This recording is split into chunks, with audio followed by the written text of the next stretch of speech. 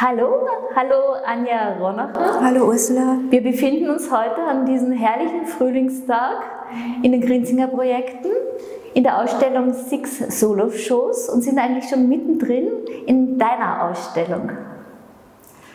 Ähm, also ich habe mir überlegt, jetzt äh, zur Einleitung etwas vorzulesen. Das hat mit der, also mit, äh, mit der Wiederholung unseres Gesprächs zu tun. Und zwar kommt das aus einem Buch von Antonina To, das heißt Das Theater und sein Double. Ähm, dass das Gesagte nicht noch einmal gesagt zu werden braucht, dass ein und dasselbe Ausdruck nicht zweimal taugt, nicht zweimal lebt, dass jedes Wort tot ist, sobald es ausgesprochen ist und nur in dem Augenblick wirkt, in dem es ausgesprochen wird, dass eine einmal verwendete Form zu nichts mehr Nütze ist und nur dazu einlädt, nach einer anderen zu suchen. Ja, also wir sind jetzt die Suchenden. Also das äh, Suchen, Graben, tiefer greifen ist ja ein Charakteristikum deiner Arbeit auch. Also du befasst dich seit mehreren Jahren sehr intensiv mit archäologischen Objekten. Äh, wo Woher kommt diese Lust, sich mit archäologischen Objekten zu befassen, in Museen zu gehen, sich an die Orte der Ausgrabungen, ob jetzt in Jordanien, Iran, China, dorthin zu reisen, die Recherchen zu intensivieren und Schwarz-Weiß-Fotografien zu produzieren? Mm, okay, also ich glaube, ich muss da jetzt etwas zurückgehen in meiner persönlichen Geschichte. Das, ähm werde ich dann in darauffolgenden Fragen nicht mehr machen. Aber also äh, äh, es ist eine Anekdote aus meiner Schulzeit. Äh, Im Kunstgeschichteunterricht äh, ist äh, relativ zu Anfang, also zu, ähm, bei den ersten Stunden danach gefragt worden, welche Bücher zur Kunstgeschichte wir zu Hause haben. Und ähm, alle Schüler haben dann ja, ein oder zwei Bücher oder mehrere Bücher erwähnt. Ich habe keins erwähnt ähm, weil ich auch keines hatte. Ähm, aus diesem Mangel an Kultur vielleicht ist dann mh, hm, auch mit dem Kunstgeschichteunterricht äh, große Liebe und Faszination mh, hm, der Kunst gegenüber entstanden. Allerdings wurde dort eine europäische Kunstgeschichte gelehrt. Äh, keine außereuropäische Kunstgeschichte.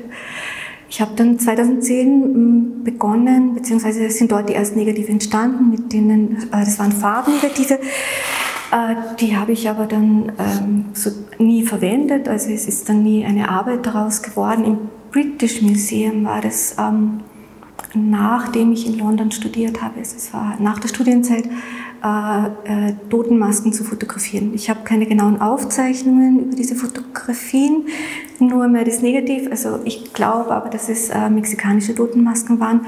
Und dann 2012 äh, während einer Residency in China sind die ersten tatsächlichen Arbeiten entstanden und äh, das war, also das erste Bild äh, war ähm, eine Fotografie einer, eines Gefäßes, also einer Tang-Vase, also eine Vase aus der Tang-Dynastie.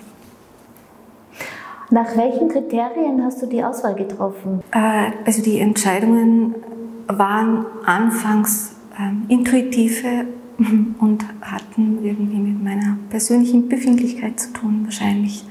Also die ersten Negative, in, aus, die, in, ähm, äh, die, die ich in China fotografiert habe, es waren sehr wenige, das waren zwei Filme vielleicht. Ja. Also sind zehn Negative auf einer Filmrolle drauf. Ich arbeite mit einer Mamiya Z, das ist ein äh, 6x7er Format, also das ergibt dann zehn Negative pro Film. Also wahrscheinlich waren es 20 Negative, daraus sind dann drei oder vier Arbeiten geworden. Also wirklich sehr wenig fotografiert noch und ähm, das war intuitiv. Und ähm, jetzt bin ich ähm, also genauer mit der, also mit der Aufzeichnung äh, genauer mit der Dokumentation von äh, dem Ort, woher das Objekt kommt, beziehungsweise der museologischen Beschreibung und so weiter.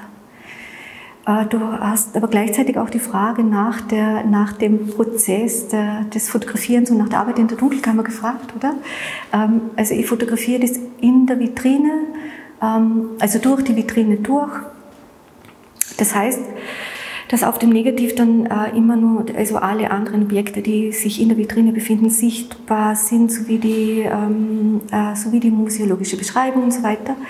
Ähm, und ich, ich habe dann begonnen, also nicht, nicht bei den ersten Arbeiten, aber dann eineinhalb Jahre später etwa äh, Schablonen auszuschneiden. Also zuerst immer Belichtung auf ein, äh, nicht auf ein Barytpapier, sondern auf ein einfaches PE-Papier zu machen, eine Schablone auszuschneiden und mit der Schablone dann in einer Technik, die dem Abwedeln, ähm, für die, die es in der Fotografie Technik auskennen, ähnlich ist, aber ich wedle nicht ab, sondern ich lege die Schablone direkt auf das Papier drauf, ziehe das Negativ dann in einem zweiten ähm, Belichtungsprozess heraus und belichte dann nur mit ähm, reinem Licht nach und so entsteht dann das Schwarz. Es wurde ja schon sehr viel über deine Arbeiten auch geschrieben, wie von der Luisa Zeyer oder auch von der Ruth Horak. Und da wurde interessanterweise auch ähm, ein Kunsthistoriker und Philosoph angesprochen, Christoph Bomian, der den Begriff der Semiphore in die Diskussion zu archäologischen Objekten einbrachte. Und ich finde es sehr interessant im Zusammenhang mit deinen Arbeiten, also auch andere haben das sehr interessant gefunden. Also wie, was mit einem Objekt eigentlich passiert, ja, das von einem Alltagsobjekt für rituelle Handlungen, Grabbeigaben als Totenmasken diente, wie das dann in Museen zum Anschauungsmaterial wird, ja, und äh, das hast du auch öfters in Gesprächen erwähnt, ja, wie die Semiphore eigentlich zum Bedeutungsträger wird. Und im Zusammenhang mit deiner Arbeit interessiert mich das schon auch sehr, wie du dann eigentlich wieder das Objekt ja, rausholst aus dem. Also es ist quasi fast auch eine Rettung des Objektes aus diesem musealen Kontext. Ja. Also du durch die Schwärze der Arbeiten, der Fotografien, ja, isolierst du sie auch aus der Umgebung gibst ihnen eben auch eine, eine ziemliche ähm, zentrale Position, die wir sonst auch nicht hätten. Würden wir ins Museum gehen und uns äh, die Objekte anschauen? Du hast auch mal erwähnt, dass für dich die Masken auch Gesichter sind. Also ich glaube, in diesem Prozess der Dunkelkammerarbeit ähm, werden diese Museumsdinge, wenn man sie als Museumsdinge bezeichnen kann, zu Symbolen oder Zeichen, wenn man in naturscher Sprache sprechen möchte. Ähm ja, also das, was eigentlich hier Masken sind, äh, sind für mich dann in der, in der, also in der Arbeit mit den Dingen mh, mm, Gesichter. Keine, also keine Masken mehr. Ja, und ähm, du gibst ihnen auch diese Aufmerksamkeit. Also sie gewinnen auch sehr an Haptik, also sie treten heraus und es ist eine sehr eine interessante Spannung zwischen dem Prozess des Hervortretens, des Anwesendsein und des Zurücktretens, des sich Entziehens und wieder Abwesendsein. Ja, über diese Begrifflichkeiten habe ich tatsächlich nachgedacht, ob es so ist, dass die Dinge dann in Schwarz, ins Schwarz abtauchen oder aus dem Schwarz hervorkommen. Ich glaube, es ist von Bild zu Bild unterschiedlich. Ich glaube, dass ich mit der Veränderung der Größe das Zurückweichen oder das Auftauchen ähm, beeinflussen kann. Also manchmal ist es dann ist, ist es so, dass ich, also das ist auch intuitiv, ja, ich, ich entscheide mich dafür, dass das Ding sehr klein wird.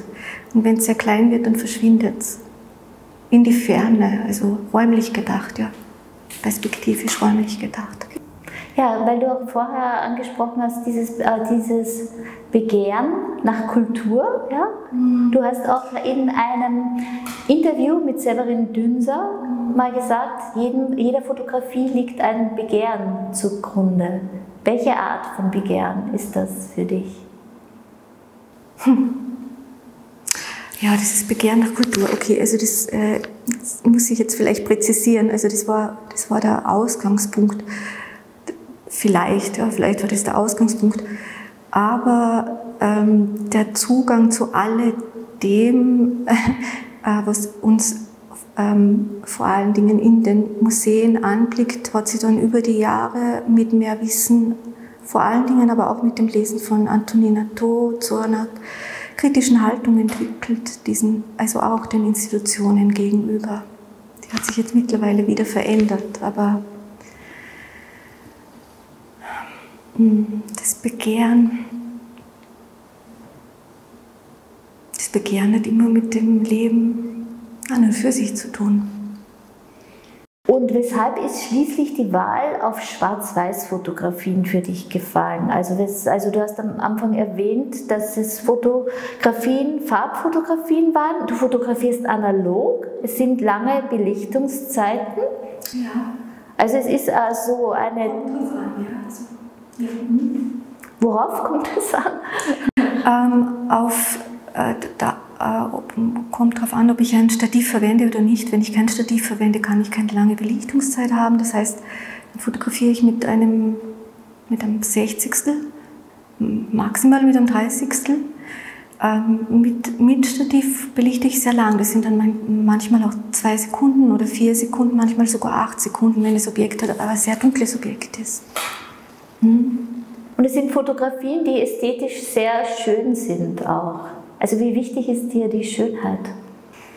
Ja, das siehst du so. Das ja, sind die sehr schön, diese Fotografien.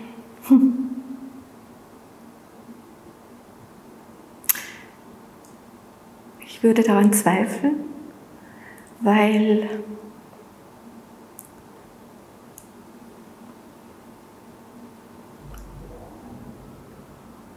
glaube, dass die Schönheit in diesem Kontext ein schwieriger Begriff ist. Also da drüben ist zum Beispiel eine Fotografie mit äh, zwei Totenköpfen.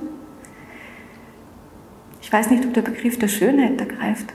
Greift da der Begriff der, ich weiß nicht, der Trauer, der Abwesenheit. Im alten Ägypten wurde zur Zeit des Lebens der Person das Totenbuch geschrieben für die Person, damit sie den Weg in die Unterwelt findet. In deinen Bildkompositionen gibt es auch eine Dramaturgie, eine Inszenierung, die die Köpfe oder die Objekte sehr ins Zentrum rückt. Weshalb diese Zentralisierung der Objekte?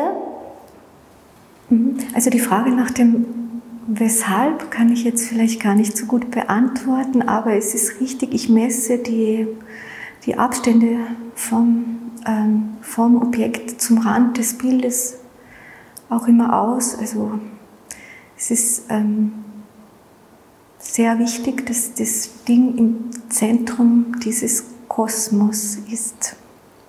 Gibt es ein Buch von Mircea Eliade über den Schamanismus. Also das Buch heißt der Schamanismus und die archaische Ekstasetechnik. Da schreibt er über die, also es gibt jeweils einen Baum, der dem Schamanen das Aufsteigen in eine andere Welt ermöglicht. Dieser Baum ist jeweils in diesem Kosmos das Zentrum dieser Welt.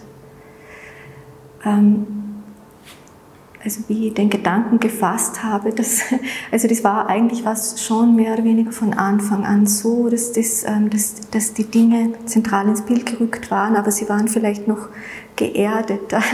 Also es, es gab sozusagen einen Boden und ähm, Himmel.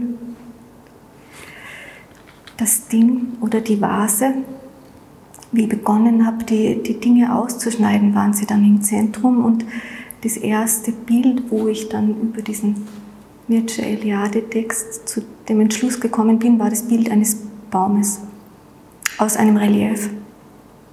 Du hast Bühnenbild in Wien studiert und äh, Fotografie in London. Also wie ist es dazu gekommen, dass du dich dann verstärkt der Fotografie gewidmet hast?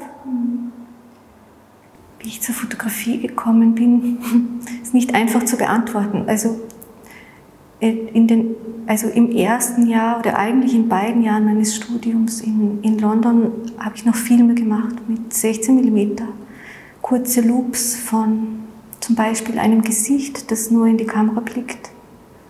Ein Gesicht, keine Maske, ein Gesicht ist ein lebender Körper. Ja. Äh, also ein, ein Loop von diesem Gesicht. Ähm, die, das Gesicht blickt in die Kamera und eben nur den Teil rausgeschnitten, wo, ähm, wo noch kein Blinzeln sichtbar ist. Das heißt, es sind zwei Sekunden, aber das Gesicht blickt unablässig. Ähm, es waren immer Loops, aber manchmal waren es auch komplexere Darstellungen oder Szenen. Es hat sicher auch mit der Beschäftigung mit Theater oder mit Inszenierung davor zu tun. Und aus dieser Vereinfachung oder schon fast Stillstellung des bewegten Bildes hin zum fotografischen Bild haben sich dann diese Bilder entwickelt. Hm. Also die Arbeiten, die wir hier jetzt sehen in der Ausstellung, sind ja zum Teil auf deinen Reisen entstanden. Mhm. Äh, also hier ist der größte Teil ähm, in Mexiko fotografiert und also einerseits im Archäologischen Museum in Mexico City und andererseits in einem Archäologischen Museum in Yucatan ähm, sowie äh, zwei, also die, die, diese Schale, das ist im äh, Museum für Islamische Kunst in Athen und ähm, das Gesicht äh, da drüben ist ähm, aus dem Akropolis-Museum in Athen. Du hast dich jetzt in den letzten Jahren auch vermehrt mit Zeichnungen auseinandergesetzt. Und interessanterweise, deine Zeichnungen sind ja im Unterschied zu deinen Fotografien, wo das Schwarz sehr dominant ist, also sehr weiß, sehr, sehr, mit einer sehr auflösenden Strichführung. Also du wendest da ja eine sehr spezielle Technik an in der Strichführung, das so aus Art Strichclustern das Porträt des Objektes entsteht? Also über, die, über, diese Technik kann ich jetzt nicht. Hm. Also ja, es sind kleine Striche, genau. Ich mache kleine Striche in mehreren Schichten und äh, über, ja, in mehreren Schichten ist es dann so wie Modellieren. Aber ja, es ist das, ja, es ist fast umgekehrt, ja. Also halt das Verhältnis von, von Schwarz und Weiß im Bild. Hm. Und hier in der Inszenierung deiner Arbeiten, es ist schon sehr interessant, die Abfolge und die Dramaturgie. Es ist ja wirklich auch etwas so, als ob wir uns da inmitten eines Kreises äh, befinden auch. Also die Distanzen, da ist eigentlich nichts dem Zufall überlassen. Das stimmt. Also ich habe in dieser Hängung und auch schon in einigen anderen Hängungen davor darauf wird nur darauf geachtet. Also ich habe das ausgemessen. Ja. Also die Abstände von einem Bild zum nächsten sind ident. Ich glaube, in dem Fall sind es 172 Zentimeter circa. Auch über Eck, ja. Mhm. Das ist der gleiche Abstand jeweils von Bild zu Bild. Ist es dann schon auch so, also du hast vorhin eben äh, Schamanismus erwähnt, ja, also wir haben eben über die rituelle Funktion von den Objekten gesprochen. Äh, schon auch, dass dann auch so eine Atmosphäre entsteht in der Ausstellung? Für mich ja. Ich weiß nicht, wie es für den Betrachter ist. Also Idealerweise kommunizieren die einzelnen Bilder miteinander, auch wie sie gehängt sind, aber auch mit, mit dem sie Betrachtenden. In deinen Fotografien haben die Objekte, obwohl sie in der Originalgröße unterschiedlich voneinander sind, dieselbe Größe. Weshalb? Ja, also ähm, ich habe in dieser Serie versucht, die, äh, die Größen der Gesichter, also wenigstens der Gesichter, die Größen anzugleichen. Also nach der ersten Fotografie habe ich dann jeweils diese Schablone verwendet und beim, also beim Einstellen des Vergrößerers dann darauf geachtet, dass es etwa dieser Größe entspricht. Und vielleicht kann ich das am besten mit ähm, einem Satz von Georges Bataille beantworten, der lautet, alle Wesen sind im Grunde eins. Also ich glaube, dass ich mit der formalen, mit der formalen Ähnlichmachung durch die Größenverschiebungen bzw. die Größenangleichung ähm, dem Satz entsprechen kann. Wenn ich mir deine Fotografien anschaue, fällt mir der Film Apocalypse Now von Francis Ford Coppola ein und äh, im Speziellen die Szene mit Marlon Brando, wo er total in die, in, aus der Finsternis her, heraus äh, präsent ist, ohne dass sein Gesicht wirklich sichtbar wird. Mhm. Also ich kenne diesen Film. Ähm habe ihn vor vielen Jahren gesehen und danach mehrere Male äh, Das Herz der Finsternis von Joseph Conrad gelesen. Ich habe auch zwei Ausgaben dieses Buches zu Hause. Ähm, gelesen habe ich es auf Englisch, also als The Heart of Darkness in Originalsprache. Und fasziniert hat mich an diesem Buch, oder? Äh, ja, ich habe es mehrmals gelesen, wegen der Dunkelheit der Sprache und der Dunkelheit der Materie. Existiert eigentlich in dir dann auch so eine Sehnsucht, mal zu einem Bild zu gelangen? Hm. Immer wieder. Immer wieder. Also zum Beispiel bei diesen zwei Totenköpfen dachte ich dann, das ist das eine Bild. Vielleicht ja. Hm. Es hätte auch sein können, dass wir jetzt hier in der Ausstellung dieses eine Bild sehen. es ist ein Akt der Großzügigkeit, dass du uns auch alle anderen. Das wäre ein Akt der totalen Reduktion, aber vielleicht in diesem Fall auch äh, der Zeit entsprechend. Du hast auch mal erwähnt, dass bei dir zu Hause es keine Farben gibt, dass alles schwarz-weiß ist. Fast alles ist schwarz-weiß. Ich bin sehr leicht irritiert von Farbe. Es ist schwarz-weiß und beige und weiß, ja. Also schwarz weniger, es ist eigentlich fast weiß, ja, weiß. Hm, alles weiß, ja. Hm. Immer wenn ich auf dich treffe, hast du ein Buch mit dabei. Eine Lektüre, die ich dann auch unbedingt lesen will. In deiner Wohnung gibt es auch eine Bibliothek. Eine kleine. Und was hast du diesmal mit dabei? Also das ist ähm, von Franz Fanon, Die Verdammten dieser Erde. Und ich lese jetzt etwas vor. Ähm, der Kolonisierte entdeckt also, dass sein Leben, sein Atmen, seine Herzschläge die gleichen sind wie die des Kolonialherrn er entdeckt, dass die Haut eines Kolonialherrn nicht mehr wert ist als die Haut eines Eingeborenen. Diese Entdeckung teilt der Welt einen entscheidenden Stoß mit. Jede neue und revolutionäre Sicherheit des Kolonisierten rührt daher. Wenn nämlich mein Leben das gleiche Gewicht hat wie das des Kolonialherrn, dann schmettert mich sein Blick nicht mehr nieder, lässt mich nicht mehr erstarren, seine Stimme versteinert mich nicht mehr. Ich bin nicht mehr verwirrt in seiner Gegenwart.